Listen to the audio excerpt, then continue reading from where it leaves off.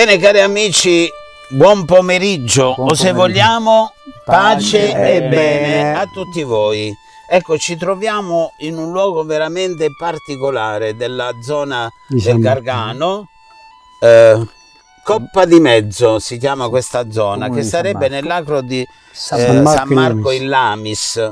E così andavamo alla ricerca di quest'albero particolare di cui tante persone parlano perché è veramente maestoso. E quindi è così camminando la provvidenza ci ha fatto incontrare degli amici. Ecco Paolo che è qui e ci ha guidati nell'ultimo tratto di questo nostro cammino. E quindi siamo in compagnia di Vito, Francesco, Luigi e poi il nostro esperto Giuseppe Gatta e poi anche altri amici che vanno cercando in giro di qua a fare che cosa? Non soltanto a raccogliere le castagne, ma anche a trovare dei funghi. Vedete qui davanti a me c'è questo magnifico fungo che, il cui nome è, è un po' incerto, se mm. vogliamo, no? Diciamo, ognuno, eh... ognuno gli, ha, gli affibia un nome particolare. Giovanni, sì. Ecco, Giovanni. Sì. Cavafiore. Bene, si vedete castagne, vedete funghi e vedete soprattutto questo ambiente. Qui davanti a noi c'è questo tappeto di ricci che sono un po', diciamo, un po' chiusi, un po' aperti perché? Perché da questo albero ecco, scendono questi frutti, questi frutti che sono veramente straordinari. Eh, qualcuno accennava che anticamente era un po' eh, il nutrimento non soltanto delle persone ma anche degli animali. Oggi forse è più degli animali che delle persone perché eh, chi fa la, ecco, che eh, ne usa molto di più sono i cinghiali che sappiamo in questa zona sono tanto tanto numerosi. Ebbene, ecco, vogliamo sapere qualche cosa di questa zona? No? Ci dici Paolo qualche cosa particolare? È una zona un po' protetta, diciamo francamente che stiamo ottimamente. Nessuno tocca niente, nessuno fa del male e noi campiamo così. Si sta sereni. Sereni sì. proprio, dormiamo qua la notte. Si vive in pace. Si vive in, in pace. pace. si vive. Che bello, questo Perché proprio... Qua solo se ti vengono a trovare gli amici. Perché qua siamo isolati. E diciamo la, anticamente era molto molto no, frequentata. Anticamente era frequentata che tutte quelle casette che, che abbiamo visto là erano tutte pecorai. Quindi molte Diceva pecore. Sai pecore, tutte sì. le pecore ci avevano. E quindi dalle pecore, diciamo, c'era la lana, c'era il c'era formaggio, c'era tutto, c'erano gli agnelli, tutto, tutto, tutta la, l'economia tutto, domestica. L'economia domestica. Ecco. Accanto alle pecore. Le patate, che erano ecco. a ruba, la patata rossa che usiamo noi, la patata rossa, di cui poi ne parleremo pure qualche volta. Eh no, perché la patata dottore. rossa, la nostra è, è, è speciale. Tut, è specialissima Speciale. per il pangotto. Ecco. il pangotto perché viene quasi sempre non friabile, diciamo... Rimane compatta. Compatta. Eh.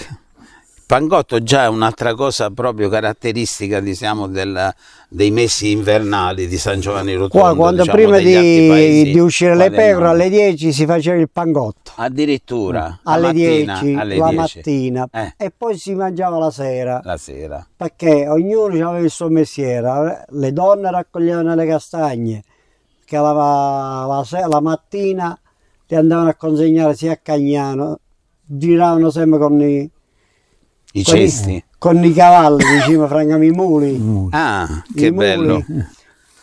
Caricavano i diciamo, muli. Sì, diciamo qualche cosa anche particolarmente delle castagne, Francesco, poi anche se vogliamo voi siete esperti anche di funghi, no? Allora, ecco. io mi sono messo in questa posizione Eh, per nascondere proprio un fungo che ho qui dietro, ancora me lo Ah, rubavano. ecco. Questa è la lingua di bue, si chiama, ed Sì. è un fungo buonissimo, questa è molto piccola ancora, crescerà, è, è buonissimo da mangiare È crudo. carne, è una carne. È proprio, sembra, la chiamano lingua di bue proprio per il suo aspetto molto carnoso e si mangia proprio in carpaccio, quindi olio e sale ed è un- una bontà, veramente una bontà. Ecco.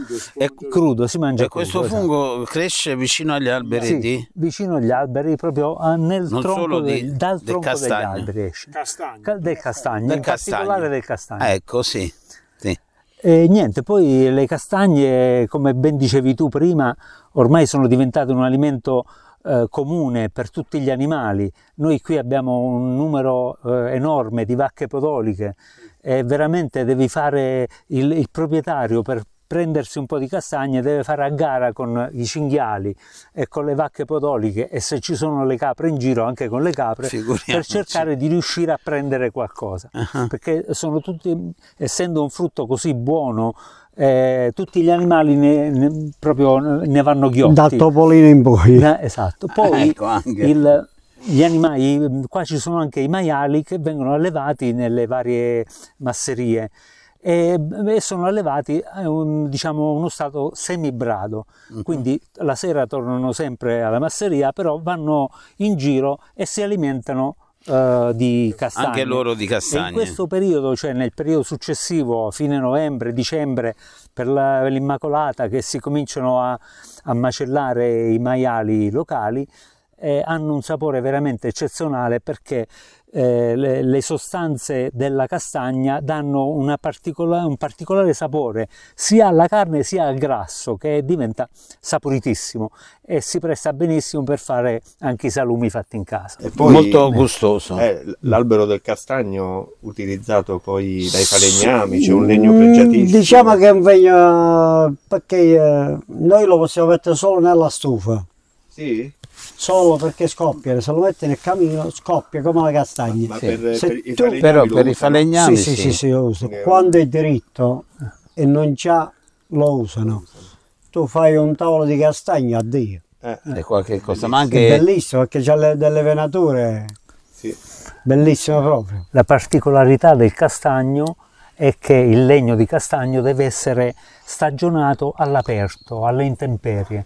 Quindi più eh, sta eh, alle intemperie, più diventa eh, sodo, più eh, non si eh, deforma dopo la lavorazione. ecco, non si apre, non si... Esatto. No, no, Va bene, eh, ecco, tante cose buone e interessanti da sapere sul Un castagno. albero amico praticamente. È Un albero è un amico, è un amico, amico. ecco, amico quando è vivo e poi anche dopo che diciamo finisce la sua vita sulla terra, sul terreno, poi ecco si mette a servizio della- dell'uomo come legno, come Come legno, come eh, ecco, con eh, questa caratteristica di bellezza eh, di saper eh, donare le cose agli altri.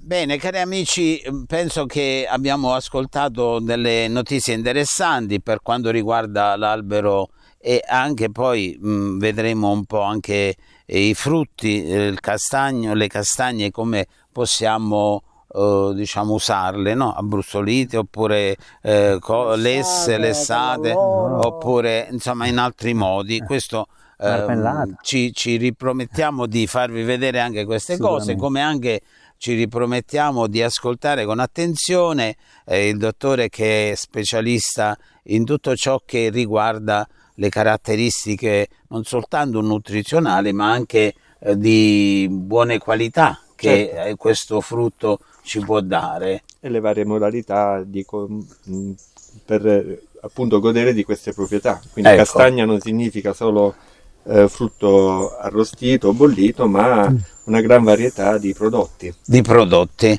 e allora ci risentiamo presto e poi anche un aspetto diciamo spirituale che vogliamo collegare anche a quest'albero che è meraviglioso e come possiamo vedere questo ma ci sono tanti altri alberi nei, nei boschi alberi di castagne come anche alberi di noce o di altri frutti che possiamo incontrare nei nostri boschi e di cui ne po- possiamo godere. Padre Rinaldo, frattanto parlavi, io ti ho pulito una castagna, mangiala anche cruda, sono Grazie, buone che- anche crude. Oh, Metà questo pure, allora. metà.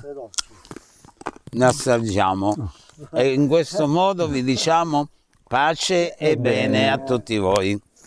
Cari amici, buongiorno, anzi diciamo Pace e e bene. bene a tutti voi. È veramente un ambiente meraviglioso quello che eh, stiamo vivendo oggi in questo ambiente dove c'è un'abbondanza di castagni e quindi siamo in un castagneto, castagneto. Cerchiamo di raccogliere un po' di castagne. Vi dobbiamo dire che abbiamo trovato delle magnifiche castagne. Qui siamo a Coppa di Mezzo. Coppa di Mezzo, Coppa di Mezzo. Coppa di Mezzo. In, eh, grazie a degli amici di Francesco che ci hanno dato la possibilità di venire qui a raccogliere le castagne.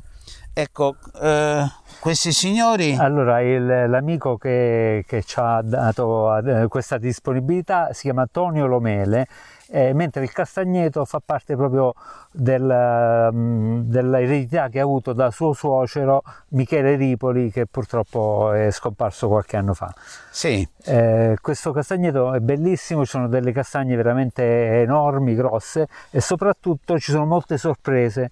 La prima l'abbiamo trovata trovando queste eh, mazze di tamburo, che sono dei funghi eh, diciamo autunnali, quindi sono in questo periodo, ma eh, sono veramente veramente saporite. sì. Sì, impanate e fritte sono proprio è la morte sua, come diceva Le, le assaggeremo, diciamo, li gusteremo. Le Però gusteremo adesso dopo. dobbiamo fare la raccolta di Eh, castagne. di Stiamo castagne. qui con, andando in buona compagnia e vedo che nonostante le, si dice che le signore hanno delicatezza di, di mani così si menano, si menano per raccogliere le castagne. Anche senza Anche se si pungono un Eh, poco, no, qualcuno è provvista di, di guanti.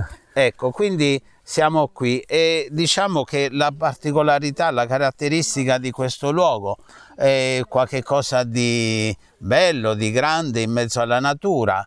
E che cosa ci vuoi dire di questo, di questo ambiente? Dove siamo esattamente l'abbiamo detto, ma, Ecco. ma dov'è? Francesco? Comune stia- no, sul sì, Gargano, comunque- sul Gargano, ovviamente sul Gargano, noi siamo certo. garganici forever. Siamo a- Ecco. alle spalle di San Giovanni. Alle spalle, esatto, proprio alle spalle. Potremmo vedere così con un po' di fantasia Monte Calvo, ma poi ci andiamo. E Dopo andiamo anche a Monte Calvo, ovviamente, andiamo a farci un giro. Ma adesso quindi raccogliamo queste E castagne. qualcuno la possiamo mangiare pure Ecco. subito. Eh sì. è vero, sì, Francesco? e quindi la caratteristica di questi frutti che cos'è? A parte il fatto della difficoltà di raccoglierle perché eh, sono custodite da questi ricci, ricci, no? sì. Eh, però Però Io veramente quest'anno punto a fare la, la farina di castagne. Ho la ricetta, quindi la ricetta poi ce l'hanno le signore. no, E non quindi ne possiamo parlere- dirlo. eh, Eh. No, la ricetta per per il momento è top secret. Bene, eh. Nel senso che non me la ricordo. eh, bisogna farle seccare prima e poi... Quindi si eh, possono fare tante, Certo. Per tante fare il cose. castagnaccio. Eh, per Il fare castagnaccio, ecco, di cui si è parlato tanto, insomma, anche eh, diciamo nei racconti, ne- Eh. nelle poesie, eh, si trova questa, questa E ricetta. quest'anno della Michele ce lo farà assaggiare. Ecco, Vabbè, grazie, mo vediamo, grazie, Daniela, Michele. la Ecco, padrona. sì. Quindi possiamo già incominciare, non dando soltanto a raccogliere, ma anche a gustare. Perché anche crude frutti. sono dolcissime proprio. È vero. Mm. Bene, allora buona giornata, buon lavoro a tutti Ci vediamo e ci risentiremo presto. Ah.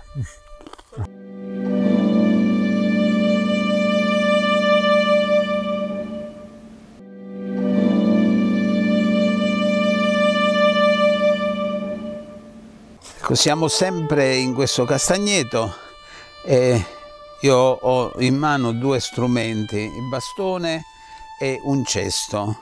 Oggi questo cesto lo usiamo per raccogliere le castagne, però ecco, volevo fermarmi anche un momento al di là del- della raccolta delle castagne, anche di questo ambiente bello, per proporre alla mia riflessione a voi uno dei santi pi- più belli, più diciamo conosciuti della- del cristianesimo, che è San Giuseppe.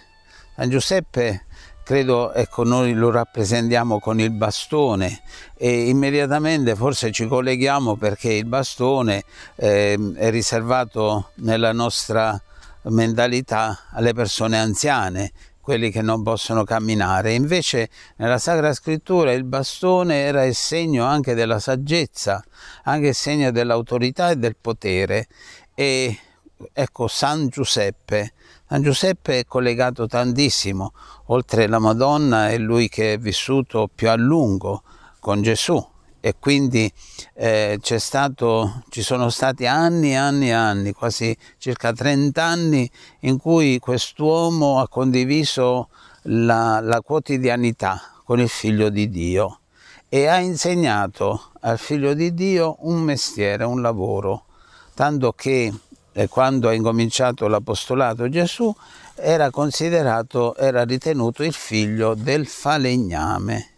E quest'anno Papa Francesco ci propone un anno di devozione, di ricordo di San Giuseppe e credo che al di là della fortuna, se vogliamo tra virgolette, che lui ha avuto di incontrare e di vivere il figlio, con il figlio di Dio, con Gesù, ma quello che ecco, per noi, per ognuno di noi, credo che ci siano due o tre aspetti dell'esperienza di San Giuseppe che ci possono aiutare nella vita quotidiana. Ecco, il primo aspetto che secondo me è importantissimo, soprattutto oggi, è il silenzio. San Giuseppe è ritenuto l'uomo del silenzio perché nella, nel Vangelo non ha detto una parola, è descritto come eh, l'uomo giusto, ma che soprattutto ricerca la volontà di Dio nella quotidianità e ricerca eh, ciò che è più importante e più giusto compiere durante la giornata. E ha fatto delle scelte grandi e straordinarie accogliendo Maria nella sua casa, ha scelto di portare Gesù nel, in Egitto per allontanarlo dal pericolo della morte di Erode che lo voleva uccidere. E poi, insomma, ecco, quindi in tutto questo lui ha taciuto, è stato nel silenzio e soprattutto ha realizzato le cose, più che parlare ha operato, ha fatto il bene. E poi la laboriosità, San Giuseppe ha custodito e ha fatto crescere Gesù lavorando con le sue mani. Nessuno, nessun Vangelo ci parla, forse i Vangeli apocrifi così chiamati ci raccontano di tante piccole eh, storielle riguardanti a Gesù bambino no? che fa dei miracoli, ma il Vangelo non ce ne parla e quindi lui ha dovuto affrontare quotidianamente la, la giornata e portare il pane con il, con il lavoro eh, nella propria casa, portare ecco, il sostegno e tutto quello che serviva per la vita quotidiana. E in ultimo soprattutto, ecco appunto come il Vangelo ci presenta, che San Giuseppe è uomo giusto, cioè che ricerca di compiere il bene anche nel suo lavoro. Ecco, ho voluto presentare questo santo eh, parlando de, de, delle castagne perché il lavoro di San Giuseppe era falegname, è uno dei legni che più eh, si lavora per veramente che porta veramente dei buoni risultati, dei buoni mobili, è il legno di, di castagno come il legno di noce e quindi ha ricercato di fare bene il suo lavoro e eh, nella giustizia e anche nel rapporto buono con gli altri. Quindi allora ecco guardiamo San Giuseppe, vogliamo prendere da lui questi aspetti belli, soprattutto al di là di tutte queste caratteristiche umane, vorrei che ecco, nel nostro cuore ci fosse sempre quella, quel desiderio di fare, e questo lo possiamo fare, di fare la stessa esperienza di San Giuseppe, di questa comunione, di questa amicizia, di questa familiarità con Gesù. E San Giuseppe in questo ci deve accompagnare, ci ricordiamo che lui è stato proclamato patrono della Chiesa universale ed è anche il patrono e anche il custode dei lavoratori, anche questo aspetto, oggi come oggi, quanta difficoltà si ha di trovare lavoro, e pensiamo insomma, ecco, che potremmo invocare anche l'aiuto di San Giuseppe perché le nuove famiglie possano ecco, vivere nella serenità anche di un lavoro bello, di un lavoro serio e di un lavoro giusto. Ricordiamoci sempre di questo santo, lo vogliamo invocare con fiducia e soprattutto, ancora una volta vi dico, dobbiamo cercare di seguirne l'esempio. Buona giornata a tutti voi. Buonasera, siamo qui riuniti Buonasera. con Padre Rinaldo, Francesco e il nostro cino operatore Saverio, come sempre in Casalandi, per parlare ancora di castagne, di questo albero eh, antichissimo che sembra venga dalla Persia, dall'Iran e che piano piano si è distribuito in tutto il bacino del Mediterraneo e i romani hanno contribuito sicuramente a piantare e a diffondere nel nostro paese. Cas- il castagno e quindi il suo frutto la castagna ha eh, numerosissime proprietà. È un frutto che è molto energetico e i prodotti, che si possono, i prodotti derivati dalla castagna sono tantissimi. Noi siamo abituati a mangiarli come caldarroste, come eh, castagne eh, bollite, però sappiamo che si può fare il pane di castagna, il castagnaccio, tanto famoso in uh, Appennino, e, il, um, e una miriade eh, di dolci. Vedrò anche che dalla castagna, visto il contenuto in amido notevole, si fa anche un, un'ottima eh, birra. E quindi io a dire il vero non ho mai assaggiato e sono curioso di eh, assaggiare. Affidiamo questa ricetta a Francesco. A, a Francesco la faremo, la faremo. sarà lui che dovrà, diciamo, eh, cogliere, eh, ricercare sì, sì. questo prodotto. Sul Gargano pensi che qualcuno possa... Eh, saremo noi i primi a farlo. Noi, noi i primi a farlo, eh, esatto. Allora, la castagna quindi ho detto ha un alto contenuto in amido, si pensa che l'80% del frutto eh, sia costituito appunto da, da, amido. Poi ci sono, sono rappresentati senz'altro anche eh, il, um, delle le fibre in, in, in, grande quantità, dei lipidi e delle eh, proteine. Eh, la castagna ha eh, un alto contenuto energetico perché 100 grammi di castagne crude forniscono circa 180 kcal effettivamente la cottura può cambiare le caratteristiche della castagna perché ehm, allora, la, le, le cardarrosse risultano un poco più energetiche rispetto alla castagna cruda, ma questo perché probabilmente è disidratata e quindi si concentra un po' la, il quantitativo in amido. Di contro la castagna bollita è meno energetica però più ricca in, in acqua. Come tutti i, i frutti, eh, ritorniamo sempre ai famosi polifenoli, a queste eh, diciamo, sostanze che ci proteggono dai radicali liberi, che anche la castagna cruda eh, contiene in notevole quantità. Una delle caratteristiche della castagna, ma più che altro quella eh, del, eh, delle, delle bucce, se non proprio del riccio, è il contenuto in tannini. Questa era una, una, I tannini hanno nel loro piccolo, diciamo, per quella piccola quota contenuta nel frutto, un effetto protettivo nel nostro intestino e anche in quello eh, degli, animali, degli certo. animali, contro le parassitosi.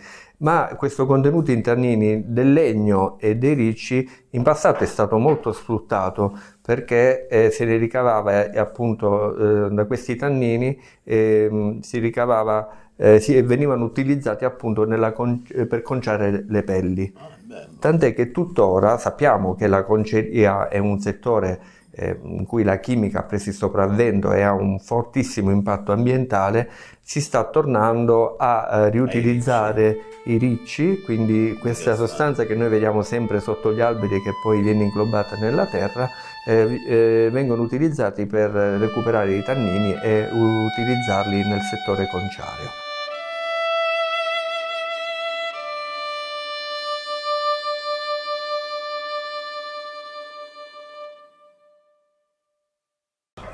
Allora, come diceva giustamente Giuseppe, le castagne erano considerate il pane dei poveri, però nella tradizione di San Giovanni Rotondo non è vista la castagna come eh, il pane, quindi non si faceva la farina, ma veniva usata più perché qui nella nostra fascia, diciamo, eh, pedemontana non ci sono castagni, i castagni sono nel bosco per cui venivano raccolte e venivano usate soprattutto per i dolci, i dolci in particolari periodi, Invernali. i cavicioncelli ripieni eh, di, di castagne a Natale e la marmellata che veniva fatta anche per riempire proprio i cavicioncelli. Ecco. Quindi noi abbiamo pensato di darvi la ricetta della nostra marmellata, che è semplicissima, diciamo. È un- Queste sono all'inizio. questa esatto, e questa è la fine, esatto. Quindi le castagne si prendono, si fa un una piccola una, un'incisione e poi si mettono a bollire per circa un 10 minuti.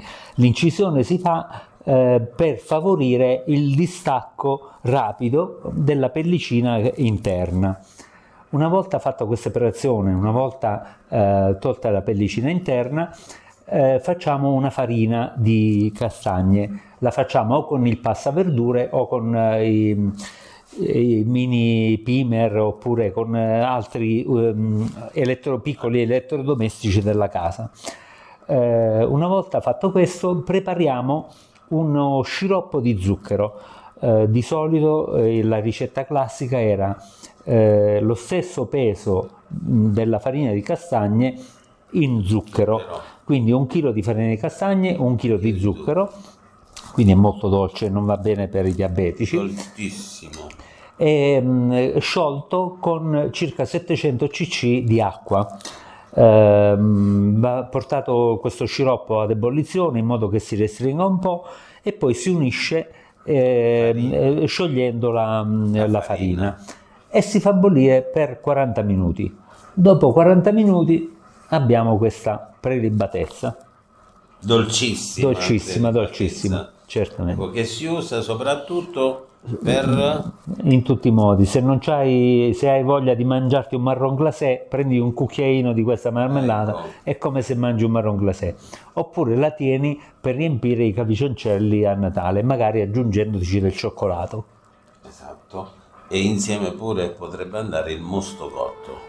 Anche Giusto. quello mosto cotto fatto con i fichi d'India. Con i fichi d'India. Eh.